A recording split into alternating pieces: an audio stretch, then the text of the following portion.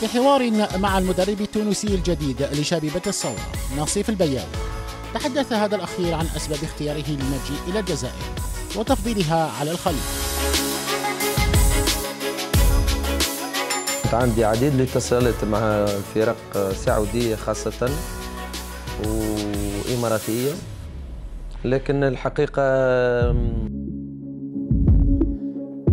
البياوي تطرق إلى تصريحات بعض المحللين التونسيين الذين أكدوا تعلم اللاعبين الجزائريين كرة القدم في تونس. لا مش تعلموا ما تعلموش ولكن وعرج مدرب شبيبة الصوت إلى الحديث عن سبب قدوم العديد من المدربين التونسيين إلى الدوري الجزائري. والله يظهر لي للتاريخ لو ترجعوا شوية آه، ممكن آه، تونس آه، معناها المدرب الجزائري دخل لتونس قبل ما يدخل المدرب التونسي للجزائر. ولم ينسى البياوي التأكيد على أن الجزائريين والتونسيين شعب واحد.